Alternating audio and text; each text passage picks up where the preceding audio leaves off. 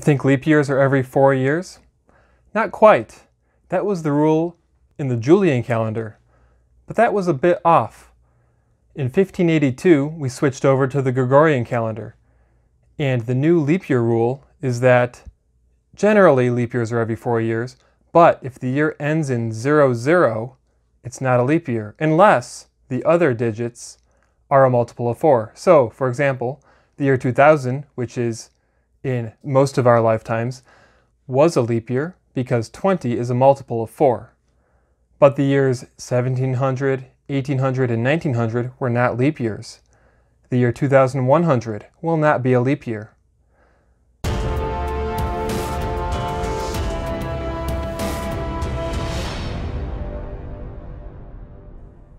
This is based on the year being not 365.25 days, that was the Julian calendar, but rather 365.2425 days.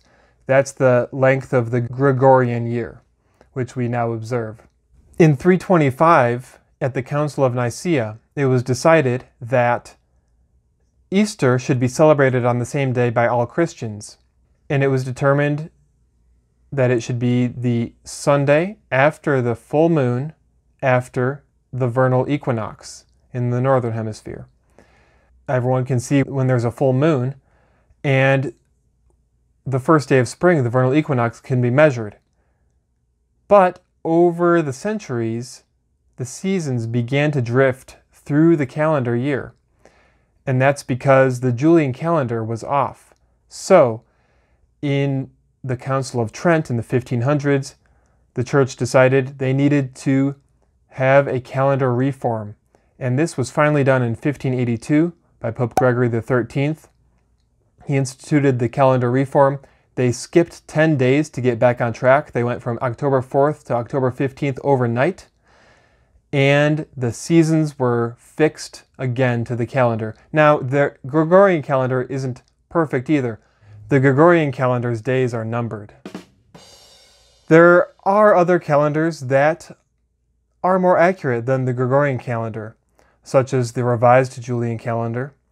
There's also the Persian calendar or the solar Hijri calendar, which is based on astronomical observations each year, determining the number of days between vernal equinoxes.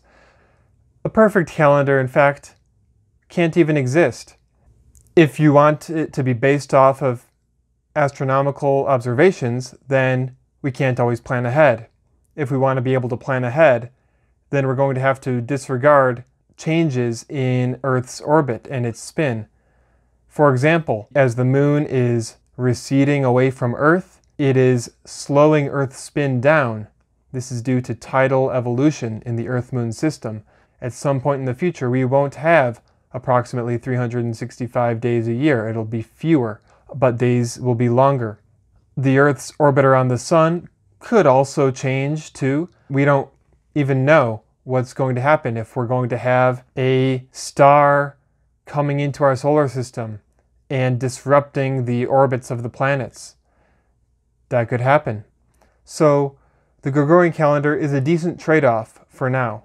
Will we get to a more accurate calendar that is universally observed? It's possible, but we don't know for sure if the world is going to be ready to just switch over to a new calendar all of a sudden. There are lots of things that have been planned out for the future, and all those would have to be changed. Perhaps in the future, when we colonize Mars, if that happens, we'll need some more universal system As you can see, I'm fascinated by calendars and I hope to make more videos about calendars. I hope to make more videos about astronomy. I also want to make more videos of philosophy that talk about science and faith and the relation between them. So if you're interested in those types of videos, subscribe to my channel so that you can find out when I post them. Anything else you want to know?